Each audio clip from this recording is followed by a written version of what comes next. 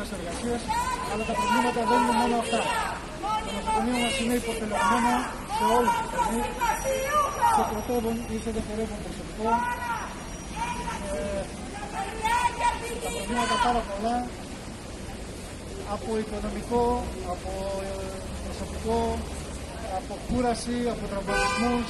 Επιστροφή τώρα! Όλο το σύστημα είναι σε αναστολή!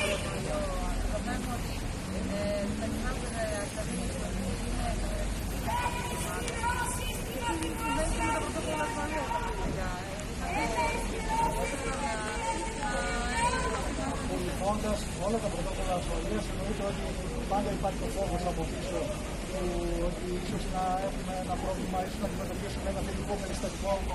Ε, προσπαθούμε να μην, ε, να μην δημιουργήσουμε πρόβλημα ούτε προς τις ασθενείς μας, το φόβο, ούτε και προς τον εαυτό μας. Για να μην το επιβαλήσουμε μετέπειτα στο σπίτι μας ή στον περίπτωό μας. Εννοείται ότι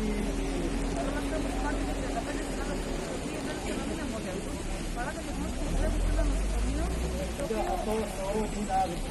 Είναι άδικο πρώτα απ' όλα από του συναδέλφους μας, γιατί έχουν σπαταλήσει τόσα χρόνια μέσα στην κοινωνία.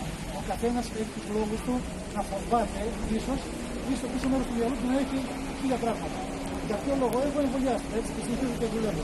Για ποιο λόγο αυτός ο συνάδελφος να μένει αυτή τη στιγμή έξω από την εργασία του και να μην παίρνει το μυροκάματό του.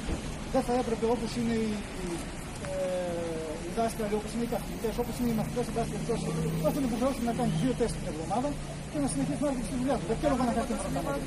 Μιλάμε για ένα νοσοκομείο το οποίο έρχονται καρκινοπαθείς καθημερινά. Ωραία, λέμε να κάνει δύο φορές τεστ την εβδομάδα. κορονοϊό κατά βράδυ. Το ξέρουμε, γι' αυτό προσέχουμε πάρα πολύ, γι' αυτό σταματάμε του συνοδού έξω, γι' αυτό εμείς εκμεριζόμαστε πολύ περισσότερη εργασία. Σας πληροφορώ ότι έχουμε αυτή τη στιγμή τουλάχιστον 20% υποστελέχωση στο νοσοκομείο του νοσοκομείου και έχουμε ένα 40% αύξηση των ασθενών. Όλο αυτό το πράγμα, αν υπολογίσετε ότι είναι 35 άτομα, μα δεν είναι πολλά, είναι πάρα πολλά. Γιατί αυτά τα 35 άτομα λείπουν αυτή τη στιγμή από το δυναμικό του νοσοκομείου, με συνέπεια όλοι αυτοί πλέον εργασία, όλους τους διευθύνων φόρτου να είναι σε εμάς. Είμαστε όλοι τραυματισμένοι, είμαστε όλοι κουρασμένοι.